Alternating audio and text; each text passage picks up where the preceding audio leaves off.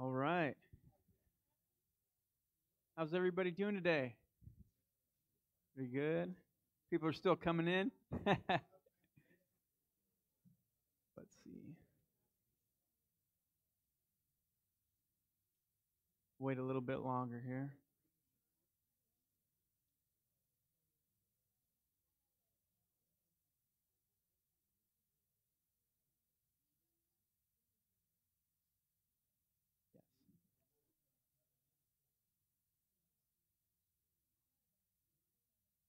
All right. It's good to see everybody here today. And I don't know if y'all saw, but Miss Midge is here with us.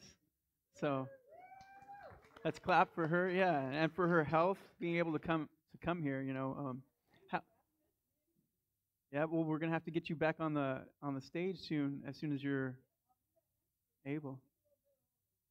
All right. All right. Praise God. Well, and Miss Carrie. That, all right. Yep. It's and the surgery's already completed. Oh man. Yeah, Well, that's good that you're through it. Why don't we uh, bow our heads and bow our hearts and open up with a word of prayer? Dear Lord, thank you again. Um, thank you that every week we can meet here and gather together in fellowship and in our unity of our worship and our reverence for you, Lord. Um, we pray that uh, we continue, you allow us to continue to be able to do so, and that we can continue to grow uh, both in our knowledge of your word and in just the, the the way that you've set us apart, Lord, that you can keep continue teaching us and um, sanctifying us, Lord. I pray that uh, you open our hearts and allow us to receive the message that you have for us. And I pray, like I like I always do, that you don't allow me to get in the way of your teaching, Lord. And um, we pray that your will be done tonight. And in Jesus' name, Amen. All right. So Pastor Derek uh, is having me fill in this week for him. Uh, I'm going to I'm going to be speaking on Elijah. I think he's at Summerfest. Is that what it is? Um, helping out with uh, another church, right?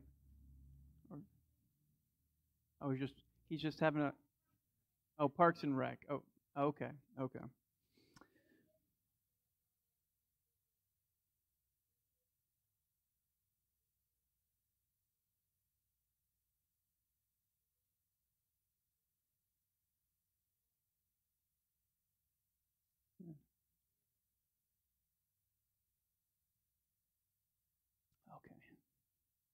I'm sure we'll get an update from. All right. So we finished last week with Solomon's death, and really the next great figure that you come along, you come across in the Bible is Elijah. Elijah is an even more magnifying person than Solomon. You know, and a lot of people are like, how can someone follow up, you know, the wisest man of all time? Well, you're going to see here tonight. Um, the next king of the throne after Solomon was his son Rehoboam. And just like David wasn't the best father or family man, for Solomon, it is a characteristic that carried on and echoed through Solomon's fatherhood. He didn't bestow the wisdom he had onto his heir to the throne. So Rehoboam was not a wise man. And when all Israel had assembled to make him the next king, the people made an inquiry of Rehoboam. And let's read that in 1 Kings 12:4.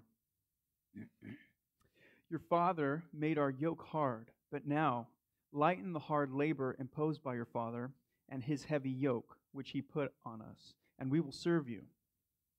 Rehoboam asked the crowd for 3 days so he can think about it, which is kind of a wise thing to do, right? But during this time he goes and consults with the elders that had served under King Solomon and asks what they think he should do and you'd think it's a no brainer. This group of elders served with the wisest man of all time. Um, you would think that they'd have some accurate counsel. Um, and they tell him, if you help the people, give them what they want this time, they will be yours forever. You know. And Rehoboam didn't like this counsel. he refused it. Instead, he goes to some young men that are his own age. It says in the Bible, men that he grew up with. He's going to his buddies. And they tell him basically to act like a tyrant king. They say to tell the people where his father would discipline, let them know you're going to scourge them with, with your discipline. Where the father made his yoke heavy on you, tell, tell the people that you're going to add to their labor, that you're going to add to, the, to their load. And of course, this does not carry over well. He follows the advice of the young men his age rather than the elders that were under his, his father. And this causes the kingdom to divide into two kingdoms. So after Solomon, it splits into two here. You have the northern kingdom, which is Israel. It keeps the name Israel. The southern kingdom is called Judah. And this happened around 930 BC, is um, the kingdom split. The northern kingdom, Israel, consisted of 10 of the tribes, and it was headquartered in Samaria. In 722 BC, it falls to the Assyrian Empire. And about a half, a century and a half later, the southern kingdom, Judah, is captured by the Babylonian Empire. And we see all that happens with uh, in the book of Daniel um, during the Babylonian period of them ruling and taking captives and everything that happens with that. But Israel up north has 20 kings total. The northern kingdom has 20 kings total, and every single one of them is evil. Meanwhile, there are also a succession of 20 rulers in the southern kingdom. Um, you ladies might like this because one of the 20 is a queen. You know, there's 19 kings, one queen in the southern kingdom, but the one queen is wicked. So um, it's not really something to be proud of. But we repeatedly see the pattern during this time of God warning them, they don't listen, and then God punishing them or, or judging them.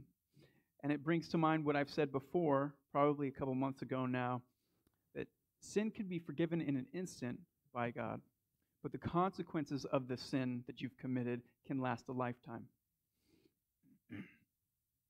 For me personally, I know God would have used me to a higher capacity if I would have obeyed Him earlier in my life. But my sin has been forgiven, of course, and I can rejoice in that. I still have to humbly accept the consequences of things I've done in the past. So there's a difference there that we have to realize. We can also rejoice in that we don't have to have any more consequences of sin in our life if we continue being fully devoted to God. Now, in 1 Kings uh, chapter 12 all the way through chapter 17, it's, it's describing this succession of kings um, within those two kingdoms, the north and the south. Most of these kings, like I said, they worship pagan gods, and they're, they're evil. Um, there are two who were God fearing, but for the most part, they were all wicked, both of the 20 kings in the north and the 20 rulers in the south. The Bible really starts to focus and hone in when we reach King Ahab in 1 Kings 16:30. Uh, so let's go ahead and start reading there. Ahab, the son of Omri, did evil in the sight of the Lord more than all who were before him. Of all the kings, this guy was the most evil. 1 Kings 16:31.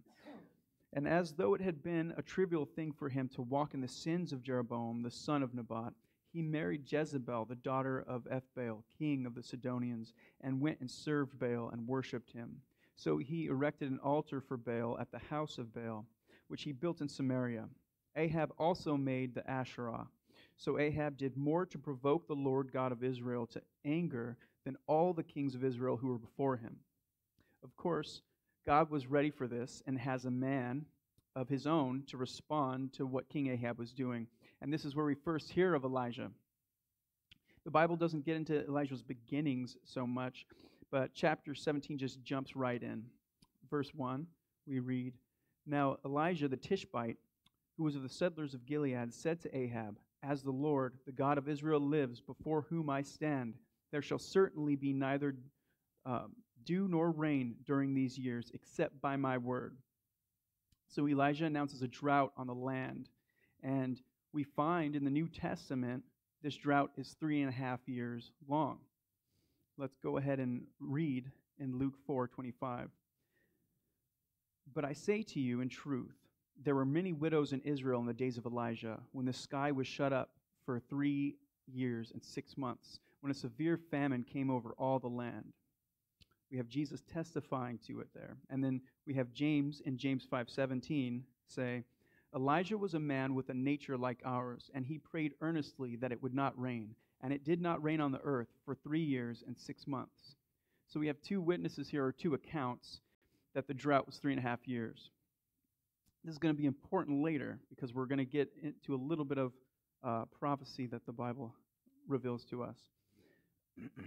and um, the more seriously we take to studying the Scripture, the point of this is the more seriously we take to studying the Scripture, the more that gets revealed to us, and the stronger our faith becomes. And the more our faith grows, the more courageous we are at witnessing to unsaved people in our lives. so let's keep this in mind. Elijah sent a drought for three and a half years. Uh, chapters 17 through 22 show the tension between the wicked king Ahab and the prophet of God Elijah. Chapter 18, 17, we read, When Ahab saw Elijah, Ahab said to him, Is this you, the cause of disaster to Israel? Ahab isn't concerned with why the judgment was happening of that drought. He just starts off the conversation with hostility towards the prophet of God. And we see that we see this um, characteristic in wicked people. Let's read Proverbs. Uh, actually, I didn't. I skipped this one. Um, but Ahab saw Elijah as the problem. He didn't look inside his own heart to see the source of the problem. Rather, in his eyes, God's prophet was the problem. The consequences of his actions were the problem. But he wanted to be able to do what he wanted with no consequences. And Elijah responds to King Ahab in verse 18. He said, I have not brought disaster to Israel, but you and your father's house have, because you have abandoned the commandments of the Lord and you have followed the Baals. Remember, Baal was a god of rain. So this was a humiliation of their, the god they're worshiping for three and a half years. Their sacrifices to Baal to receive rain did nothing. Um, and this was also to demonstrate who the real God was the God they were supposed to be worshiping and the God that actually has power. and to make it even more apparent, Elijah challenges King Ahab. And he says in verse 19 Now then, send orders and gather to me all Israel at Mount Carmel, together with 450 prophets of Baal and 400 prophets of the Asherah who eat at Jezebel's table. A prophet is supposed to be someone who speaks on behalf of God and also is someone who calls people out on their idolatry. Let's read on. So Ahab sent orders among all the sons of Israel and brought the prophets together at Mount Carmel. Then Elijah approached all the people and said, How long are you going to struggle with the two choices? If the Lord is God, follow him. If Baal, follow him. But the people did not answer him so much as a word. Then Elijah said to the people, I alone am left as a prophet of the Lord, while Baal's prophets are 450 men. Now have them give us two oxen, and have them choose the one ox for themselves, and cut it up, and place it on the wood, but put no fire under it. And I will prepare the other ox, and lay it on the wood, and I will not put a fire under it. Then you call on the name of your God, and I will call on the name of the Lord and the God who answers by fire, he is God. And all the people replied, That is a good idea. So Elijah said to the prophets of Baal, Choose the one ox for yourselves and prepare it first. He's giving them the choice. You, you pick the one you guys want. Since there are many of you, and call on the name of your God, but put no fire under the ox. Then they took the ox which was given them, and they prepared it. And they called on the name of Baal from morning until noon, saying, O Baal, answer us. But there was no voice, and no one answered. And they limped about the altar which they had made. And at noon, Elijah ridiculed them and said, Call out with a loud voice, since he is a God. Undoubtedly, he is attending to business, or is on the way, or he's on a journey. Perhaps he is asleep and will awaken. So he's taunting them now. He's having, he's, I'm sure he was enjoying this. Um, you got to love Elijah and the way he's mocking them here. Um, he knows that there's no God that's going to answer them. but egging them on makes them try even harder. So they cried out with a loud voice and cut themselves, according to their custom, with swords and lances until blood gushed out on them. When midday was past, they raved until the time of the offering of the evening sacrifice. But there was no voice, no one answered, no one paid attention. These prophets of Baal were out there for hours and hours, cutting themselves, flailing about, going crazy. And then Elijah says it's his turn. Verse 30. Then Elijah said to all the people, Come forward to me. So all the people came forward to him, and he repaired the altar of the Lord, which had been torn down. Then Elijah took twelve stones corresponding to the number of the tribes of the sons of Jacob, to whom the word of the Lord had come, saying, Israel shall be your name. And with the stones he built an altar in the name of the Lord, and he made a trench around the altar, large enough to hold two measures of seed. Then he laid out the wood, and he cut the ox in pieces and placed it on the wood. And he said, Fill four large jars with water and pour it on the burnt offering and on the wood he's so confident in God, he knows God's going to follow through. He's soaking the wood on the altar with water. And there's no, you know, then there can be no accusation he's trying he tried some kind of trickery. And he said, "Do it a second time." So they did it a second time. Then he said, "Do it a third time." So they did it a third time. The water flowed around the altar, and he also filled the trench with water. He's just making sure it's just completely soaked. Then at the time of the offering of the evening sacrifice, Elijah the prophet approached and said, Lord, God of Abraham, Isaac, and Israel, today let it be known that you are God in Israel, and that I am your servant, and that I have done all of these things at your word. Answer me, Lord, answer me, so that this people may know that you, Lord, are God, and that you have turned their heart back then the fire of the Lord fell and consumed the burnt offering, and the wood, and the stones, and the dust, and it licked up the water that was in the trench. When all the people saw this, they fell on their faces, and they said, The Lord, He is God. The Lord, He is God. Then Elijah said to them, Seize the prophets of Baal, do not let one of them escape. So they seized them, and Elijah brought them down to the brook Kishon and slaughtered them there. And this leads us right into the next chapter. Now Ahab told Jezebel everything that Elijah had done and how he had killed all the prophets with the sword. And you, you want to think, like, man, Elijah is just, he's a man of God. He's courageous and brave. But then we read in verse 2 Then Jezebel sent a messenger to Elijah, saying, So may the gods do to me, and more so, if by about this time tomorrow I do not make your life like the life of one of them. And he was afraid and got up and ran for his life and came to Beersheba, which belongs to Judah, and he left his servant there. that's, that's what's crazy to me, is how after performing these miracles, and while knowing he's a prophet of God, Elijah was scared for his life by this threat. But that is what we know of God. He often likes to use people that are weak among us and people that wouldn't be so uh, necessarily courageous and brave and confident. He uses courageous people as well. But with his prophets, you know, like with Moses, how Moses was really humble and he kept telling God, use somebody else, you know. Um, it's interesting in his choice of prophets. But Elijah was also very overwhelmed. And we read in verse 4 But he himself went a day's journey into the wilderness and came and sat down under a broom tree. And he asked for himself to die and said, Enough. Now, Lord, take my life, for I am no better than my father's. He knows the moment that he is in, it's too big for him, and he's he's kind of just wiped out, overwhelmed from, from everything that went on, and he's kind of just had it. So God helps him through it. The angel of the Lord appears to Elijah and provides food for him. Elijah goes back to sleep, and then a second time the angel of the Lord appears, wakes him up, gives him food again, and tells Elijah he has a long journey ahead of him. Verse 8 even says Elijah was able to travel for 40 days and 40 nights off the strength of that food. That's pretty amazing.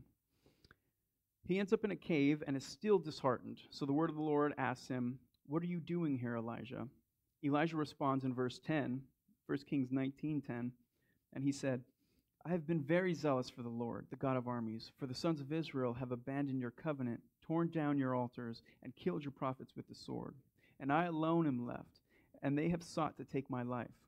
So God decides to encourage Elijah by reminding him of his power. God gives Elijah a personal demonstration of his power.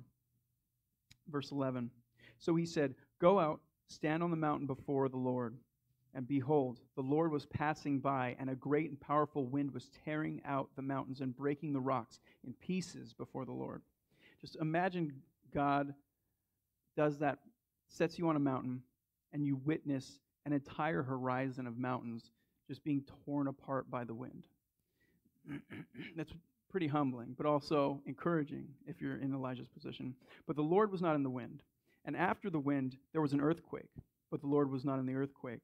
And after the earthquake, a fire, but the Lord was not in the fire. And after the fire, a sound of a gentle blowing. When Elijah heard it, he wrapped his face in his cloak and went out and stood in the entrance of the cave.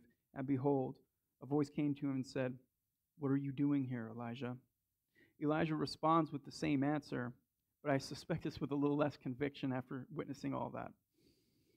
Um, God tells him to go down to Damascus and anoint Hazael king over Aram, and Jehu king over Israel, and Elisha as the prophet in his place. So he goes and finds Elisha.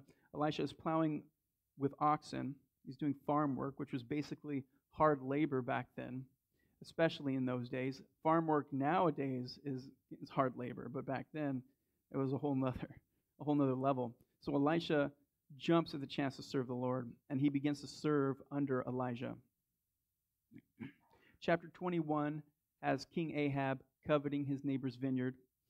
Um, his asks his neighbor for it. He'll trade it for an equal a vineyard of equal value or greater, but his neighbor won't give it to him. So he lets he tells his wife about it, Jezebel. Jezebel ends up taking the king's seal, writing letters in his name, sealing it, sending it to elders in the city that his neighbor Naboth lives in telling him to sit, telling them to sit him, throw a feast, sit Naboth as in the seat of honor, and put two worthless people next to him to be false witnesses. And they accuse him in front of everybody at this feast of cursing God and cursing the king. So the people drag him out of the feast and stone him to death. And Ahab then is free to claim that vineyard for himself. That's just displaying the wickedness of the king at that time. And then we read in 1 Kings 21 17 the response to this. Then the word of the Lord came to Elijah the Tishbite, saying, Arise, go down to meet Ahab, king of Israel, who is in Samaria. Behold, he is in the vineyard of Naboth, where he has gone down to take possession of it. And you shall speak to him, saying, This is what the Lord says Have you murdered and also taken possession? And you shall speak to him, saying, the Lord says this In the place where the dogs licked up the blood of Naboth, the dogs will lick up your blood, yours as well. Then Ahab said to Elijah, Have you found me, enemy of mine? There's that character trait of a wicked person again. They don't look inward at what they've done, they look outward at the consequence and get angry at that. It's mind boggling. You know, to be wicked in this way is actually to be a coward because it takes courage to look within yourself and see what is wrong, to see the sin that was guiding your actions, to, to face it, and then make that correction inside yourself. And we're all capable of doing this because we have the Holy Spirit to continue the work within us. We're not supposed to be lazy about it. We need to put effort into our growth, and God will, re- will re- reward that. Excuse me. God rewards the diligent. Let's continue. And he answered, I have found you. Elijah is responding to King Ahab. I have found you because you have given yourself over to do evil in the sight of the Lord. Behold, I am bringing disaster upon you, and I will utter, utterly sweep you away, and will eliminate from Ahab every male, both bond and free in Israel. And I will make your house like the house of Jeroboam the son of Nebat, and like the house of Baasha the son of Ahijah because of the provocation with which you have provoked me to anger, and because you have misled Israel in his sin. The Lord has also spoken of Jezebel, saying, The dogs will eat Jezebel in the territory of Jezreel. The one belonging to Ahab, who dies in the city, the dogs will eat. The one who dies in the field, the birds of the sky will eat. There certainly was no one like Ahab, who gave himself over to do evil in the sight of the Lord, because Jezebel, his wife, incited him. He also acted very despicably in following idols, conforming to everything that the Amorites had done, whom the Lord drove out from the sons of Israel. Yet it came about, when Ahab heard these words, that he tore his clothes and put on sackcloth and fasted. And he lay in sackcloth and went about despondently. Then the word of the Lord came to Elijah the Tishbite, saying, Do you see how Ahab has humbled himself before me? Because he has humbled himself before me, I will not bring the disaster in his days. I will bring the disaster upon his house in his son's days. Now, here we're seeing how quickly and instantly God is willing to forgive if you're truly repentant. But simultaneously, the heavy consequence is still there. It's not going away. Let's uh, skip to chapter 22, verse 40. So Ahab lay down with his fathers, and his son Ahaziah became king in his place. Ahaziah followed in his father's footsteps. Verse uh, 53. So he served Baal and worshipped him and provoked the Lord God of Israel to anger, according to all that his father had done. In 2 Kings 1 2, we read, And Ahaziah fell through the window lattice in his upper chamber, which was in Samaria, and became ill. So he went so he sent messengers and said to them, Go, inquire of Beelzebub, the god of Ekron, whether I will recover from this sickness. But the angel of the Lord said to Elijah the Tishbite, Arise, go up and meet the messengers of the king of Samaria, and say to them, Is it because there is no God in Israel that you are going to inquire of Baal Zebub, the god of Ekron? When the messengers returned to Ahaziah, he said to them, Why have you returned? They said to him, A man came up to meet us and said to us, Go, return to the king who sent you, and say to him, This is what the Lord says. It is because there is no God in, is it because there is no God in Israel that you are sending messengers to inquire of Beelzebub, the god of Ekron? Therefore you will not get down from the bed upon which you have lain, but you shall certainly die. Then he said to him, What did the man look like who came up to meet you and spoke these words to you? And they said to him, He was a hairy man with a leather belt worn around his waist. And he said, It is Elijah the Tishbite. Then the king sent to him a captain of 50 with his 50 men. So let's let's pay attention to what this king is going to do. He he got a prophecy from a prophet of God, and this is his response. He gets a captain with 50 men, and he went up to him, and behold, he was sitting on the top of the hill. And he said to him, You man of God, the king says, come down. But Elijah replied to the captain of 50, If I am a man of God, May fire come down from heaven and consume you and your fifty. Then fire came down from heaven and consumed him and his fifty men. So King Ahaziah, his response to fire falling from heaven, burning his men up, is I'm going to send another 50 men to go get him. and then Elijah sends fire down from heaven again, wipes them out again.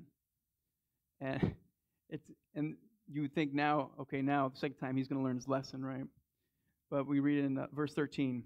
So the king again sent the captain of a third 50 with his 50 men.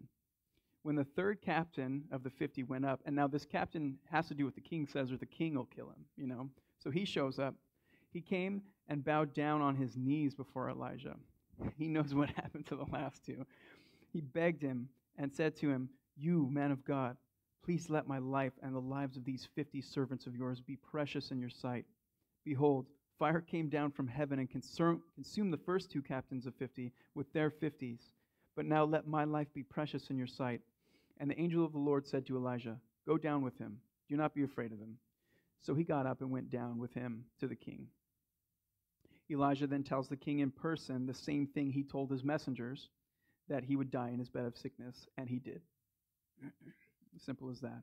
The next event in Elijah's life, in my opinion, is the most fascinating. Uh, 2 Kings 2 1. Now it came about when the Lord was about to bring Elijah up by a whirlwind to heaven that Elijah left Gilgal with Elisha. And Elijah said to Elisha, Stay here, please, for the Lord has sent me as far as Bethel. But Elisha said, As surely as the Lord lives, and as you yourself live, I will not leave you. So they went to Bethel. And this pattern repeats. When they, when they get there, the sons of the prophets of Bethel come and tell Elisha, Do you know that the Lord will take away your master from over you today? And Elisha responds, Yes, I know. Be still. You know, like, leave me alone. I know. And they, they continue to go. Elijah tells them, Don't follow him. Elisha says, I'm going to follow you. And, it, it, and then prophets of God come and say, Hey, do you know he's being taken? And it just, it, this repeats. And then we read in uh, 2 Kings 2 7.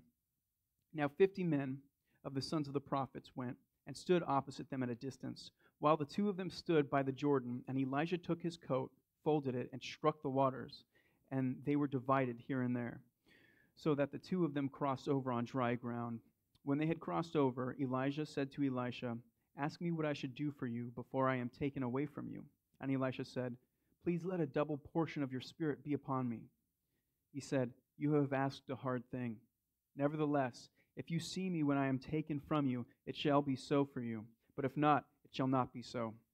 And as they were walking along and talking, behold, a chariot of fire appeared with horses of fire, and they separated the two of them.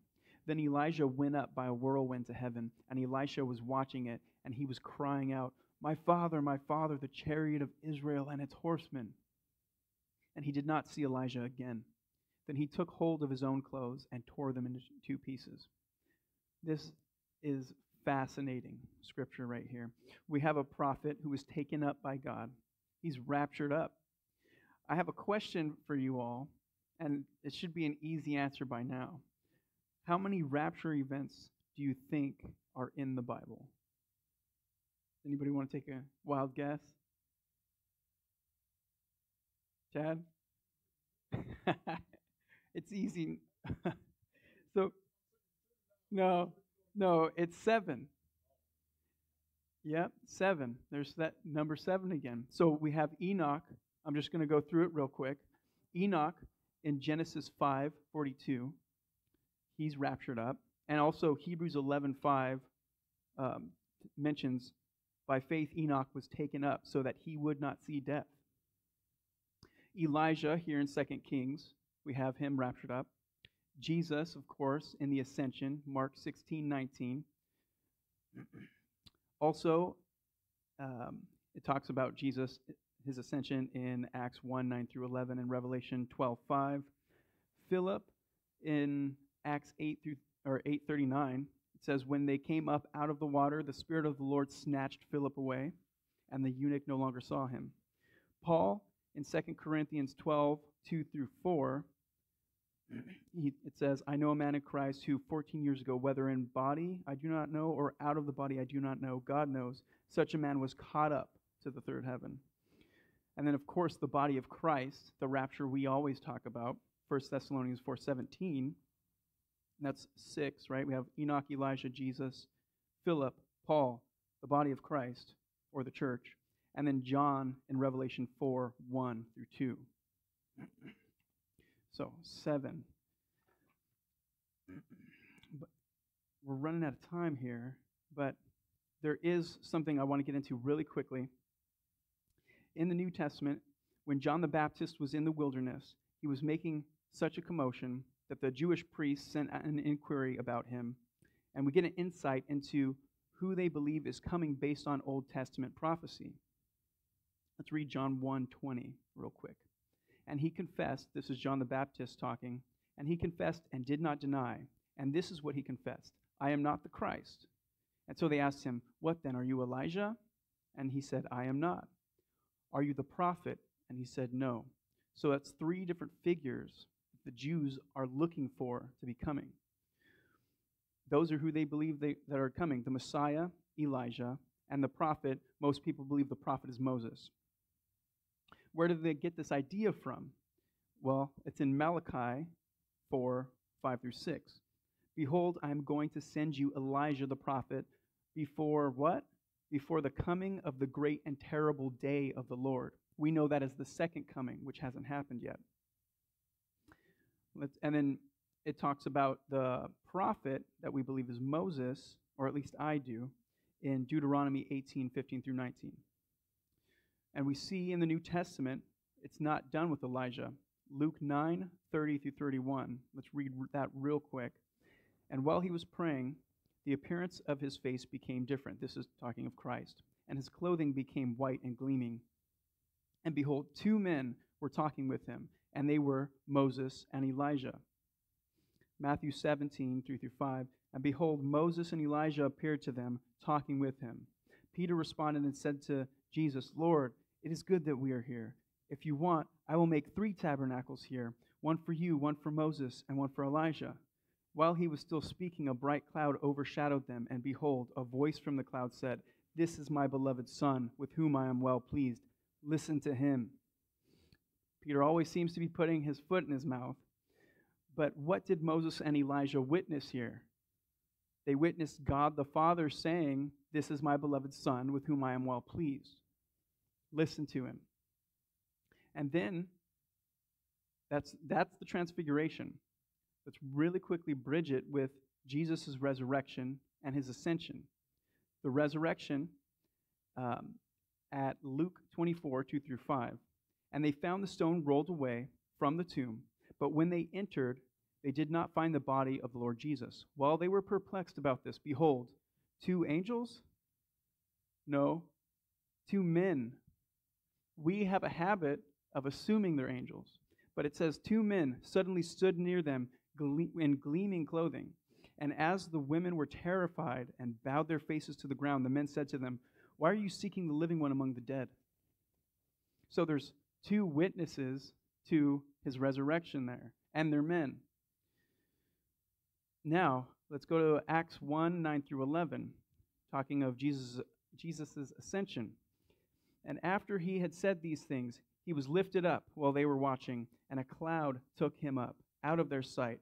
And as they were gazing intently into the sky while he was going, then behold, two men in white clothing stood beside them. And they said, Men of Galilee, why do you stand looking into the sky? This Jesus, who has been taken up from you into heaven, will come in the same way as you have watched him go into heaven. Again, two men witnessing the ascension. This is really compelling. Let's continue with what is going to happen in the future regarding two witnesses. Where, where do we see two witnesses? Revelation, Revelation chapter 11, verse 3. And I will grant authority to my two witnesses, and they will prophesy for 1,260 days. We got to get specific with the Bible. The Bible counts years in 360 days. 300, so three and a half years, if you multiply time, you know, you get 1,260 days. 300, you multiply 360 days times three and a half, which is the years, you get 1,260, right? Which is the same amount of a, the same time that Elijah did the drought. That's why I said to remember that. Revelation 11:5, and this is this is the ending passage right here. So thank you guys for your patience. And if anyone wants to harm them, fire flows out of their mouth and devours their enemies. And so, if anyone wants to harm them, he must be killed in this way. These have the power to shut up the sky so that rain will not fall during the days of their prophesying. So, here you have no rain falling for three and a half years, which is the, the time of their prophesying, and using fire to consume enemies of God. Sounds an awful lot like Elijah, right? And they have power over the waters to turn them into blood. And you all remember when we talked about Moses, he turned the Nile into blood and to strike the earth with every plague as often as they desire. Everyone remembers, everyone, without us even talking about Moses, we know the 10 plagues of Moses. When they have finished their testimony and they're witnessing at the most darkest time in human history, you have the Antichrist ruling the world at this point, right? And you, so what's appropriate? Two witnesses that actually witnessed each moment that's crucial to the Christian faith, right? the most crucial events of the Christian faith all deal with Jesus Christ's death, burial, resurrection, his ascension. So it would make sense that the Bible would have that there. Each of those spots, two men as witnesses. So when they have finished their testimony, the beast that comes up out of the abyss will make war with them and overcome them and kill them. But it's not until they finish their testimony, that their mission that God gave them. Their dead bodies will lie on the street of the great city, which spiritually is called Sodom and Egypt, which also their Lord was crucified. Those from the peoples, tribes, languages, and nations will look at their dead bodies for three and a half days, and will not allow their dead bodies to be laid in a tomb. And those who live on the earth will rejoice, because remember, the wicked, their consequence, they, they're not looking inward, they're looking outward at the consequences that they were suffering from. They're, they're going to celebrate, and they will send gifts to one another, because these two prophets tormented those who live on the earth. And after three and a half days, the breath of life from God came into them, and they stood on their feet, and great fear fell upon those who were watching them. And they heard a loud voice from heaven saying to them, Come up here. And they went up to he- into heaven in the cloud, and their enemies watched them. So we're gonna we're gonna go ahead and stop there. I went over on time, so we don't have to do Q and A, um, or at least not as many Q and A's, just because I kind of ate into that time, and I apologize. But I really wanted to run home the like bring it all into one, you know, and that conclusion. But do we have any